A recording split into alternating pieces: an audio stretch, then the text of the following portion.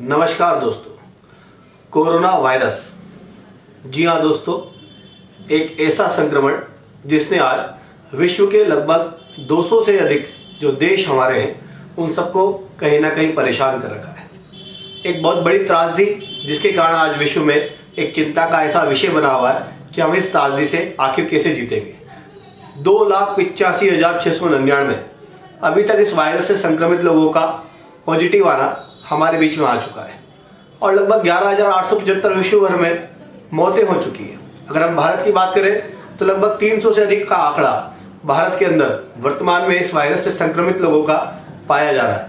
साथ ही साथ चार लोगों की मृत्यु भी भारत में इस संक्रमण के कारण हो चुकी है। दोस्तों, कई प्रकार की जानकारियाँ, कई प्रकार के बचाव के प्रिवेंशन कई लोगों के माध्यम से, कई लोगों ने वीडियो के द्वारा आप तक पहुँचाने का प्रयास भी किया देश के प्रधानमंत्री ने भी लोगों को सतर्क किया है, साथ ही साथ बताया है कि किस प्रकार से इस बीमारी से आसानी से बचा जा सकता है। दोस्तों, सभी वीडियो से, सभी प्रिकॉशंस मेजर से एक बात तो तय हो चुकी है कि इस बीमारी का वर्तमान समय में कोई सटीक इलाज उपलब्ध नहीं है। जो इलाज है, वो अब हमारे हाथ में है और वो इलाज है, हम लोगों को हमें हमारे घरों में सुरक्षित रहना होगा। जब तक हम कोरोना को साथ लेकर बाहर से नहीं आएँगे, तब तक कोरोना हमारे घर में प्रवेश नहीं करेगा। साथ ही साथ समूह में बैठना, भीड़ में जाना, कहीं ना कहीं किसी ना किसी प्रकार से ऐसे स्थानों पर होना जहाँ पर अधिक भीड़ है तो कहीं ना कहीं हम कोरोना को अपने इलाके में, अपने घर में बुलावा दे रहे हैं। आज सबसे बड़ी चिंता का विषय जो इस वीडियो को बनाने का हेतु है वो यह है कि अभी भी मैंने देखा है कस्बों में, गाँव में कई लोगों की मानसिकता इस प्रकार की बनी हुई है कि कोरोना अभी शहरों में आया है। अभी हमारे यहाँ नहीं है। आप देख लीजिए, सब्ज़ी मंडी में भीड़ कोई अंतर नहीं आया। मार्केट प्लेस में भीड़, कोई अंतर नहीं आया। यहाँ तक कि लोग एक दूसरे से हाथ मिलाते हुए घबरा भी नहीं रहे। कुछ लोग तो हाथ मिलाते हैं, मिलाते समय बोलते हैं, अभी हमारे यहाँ नहीं आया है। अभी हम लोग सेफ़ है। मेरा उन सभी भारतवासियों से निवेदन है और साथ साथ विश्व के उन सभी लोगों से भी निवेदन है जो कहीं ना कहीं इस बात को सोचते हैं कि कोरोना अभी हमारे यहाँ नहीं आया ये कोई पहले से बता के आने वाला वायरस नहीं है। ना ही इस वायरस के सिम्टम्स आपको बड़ी आसानी से दिख पाएँगे। इसलिए मेरा निवेदन है कि जो भी कस्बे के लोग हैं, ग्रामीण क्षेत्र के लोग हैं, वो बड़े सचेत रहें। बड़ी अच्छी बात है, कोरोना अभी तक उन तक नहीं पहुँचा है। और अगर सावधानी रखेंगे तो निश्चित रूप से कोरोना कभी उन तक नहीं पहुंचेगा।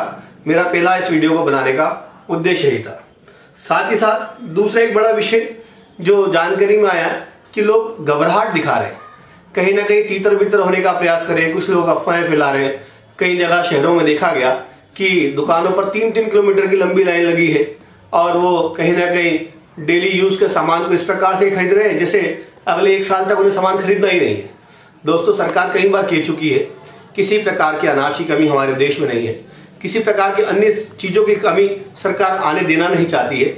ऐसे समय में भय के कारण भीड़ वाले स्थानों पर जाना, इस प्रकार से सामान खरीदना कि दूसरे लोगों को भी दिक्कत आ जाए, कहीं ना कहीं इससे बाज़ार में अफरा तफरी की स्थिति बन रही है। और इसी समय में कुछ ऐसे लोग भी हैं, जिन्हें व्यापारी वर्ग के रूप में गिना जाता है, वो इस परिस्थिति का फ़ायदा उठाकर कहीं ना कहीं हमारी ज़िंदगी के साथ खिलवाड़ कर रहे हैं। दूसरा, मुनाफाखोरी। हम देख सकते हैं, जो सामान्य चीज़ें हैं, उनको महँगी बेची जा रही है। दोस्तों, विश्व के अंदर ऐसे अनेक देश हैं, अनेक लोग हैं, जिन्होंने ऐसे समय में उदार मन के साथ लोगों की सेवा करी है। और भारत सदैव अपनी प्राचीन संस्कृति में ऐसे अनेक उदाहरण दे चुका है जहाँ पर हमने वसुदेव कुटुंबकम की भावना को चरितार्थ किया है।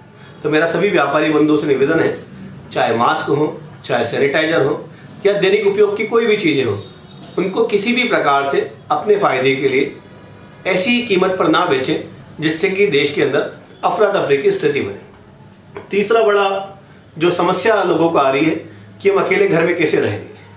दोस्तों, प्रधानमंत्री जी ने कहा है, हम स्वस्थ, जग स्वस्थ। मैं कहूँगा मस्त रहें और व्यस्त रहें। दोस्तों, हम अपने अपने घर रहें।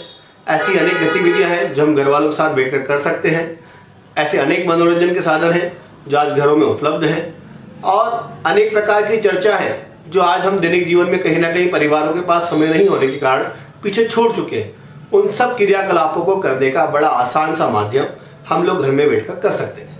मेरा निवेदन है कि आप घर पर रहेंगे तो मस्त भी रहेंगे और व्यस्त रहने की कोई ना कोई कारण ढूंढ लेंगे।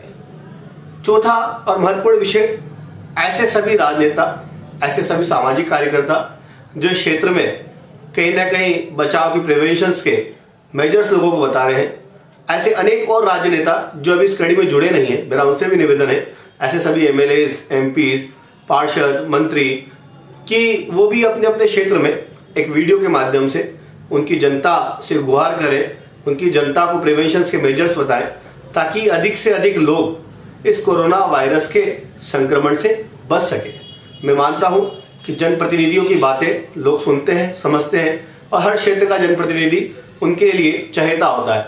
आप निश्चित रूप से बात करेंगे, उनसे समझाएँगे, वीडियो शेयर करेंगे तो आपकी बात मानी जाएगी और कहीं ना कहीं जागरूकता फैलेगी। साथ ही साथ मास्क सैनिटाइजर जैसी आवश्यक वस्तुएँ यदि आपके माध्यम से, जिला प्रशासन के माध्यम से निचले स्तर तक अगर पहुँच सके तो ऐसा प्रयास आवश्यक रूप से करना चाहिए। ये भी कहीं ना कहीं बचाव में कारगर साबित होगा। पांचवा और एक और अन्य विषय कि मेरा ऐसे बहुत सारे मोटिवेशनल स्पीकर्स जो वीडियोस बनाते हैं, जो लोगों से इंटरेक्ट करते हैं, कहीं ना कहीं बिज़नेस आइडिया देते हैं। मेरा उनसे निवेदन है कि अब लोगों को एक सोशल बिज़नेस आइडिया दिया जाना चाहिए। सोशल बिज़नेस आइडिया क्या हो सकता है? तो किस प्रकार से घर पर अच्छे से सैनिटाइजर बनाए जा सकते हैं, जिससे खुद भी स्वस्थ रहे आसपास पड़ोसी को भी दिए जा सकते हैं।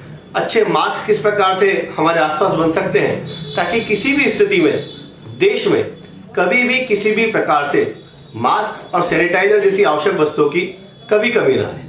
साथ ही साथ, दैनिक उपयोगी वस्तुओं के लिए भी ये मोटिवेशनल स्पीकर लोगों को कहीं ना कहीं और अधिक गाइड कर सकते हैं, जिससे समस्या खत्म होगी। अंतिम और महत्वपूर्ण सुझाव मेरा सरकार से है कि जिस प्रकार से एक जनता कर्फ्यू का एक विशेष प्रयोग देश के माननीय प्रधानमंत्री द्वारा किया गया, वो निश्चित रूप से सराहनीय है। देश का हर वह व्यक्ति जो देश की वर्तमान स्थिति को समझ रहा है और जानता है कि ये जनता कर्फ्यू का कार्यक्रम निश्चित रूप से कोरोना संक्रमण को कुछ हद तक रोकने में कारगर साबित होगा। दोस्तों, जैसा कि अभी हमने देखा कि किस प्रकार से तेज गति में से इटली में इस वायरस ने कितने अधिक लोगों को चपेट में लिया, इटली जो स्वास्थ्य सेवाओं में बहुत उन्नत देश है। और उस देश के अंदर भी एक ऐसी स्थिति बनी कि इतने सारे पेशेंट एक साथ आ गए कि डॉक्टर्स और नर्सेस की टीम छोटी पड़ने लगी। अस्पताल कहीं ना कहीं कम पड़ने लगे।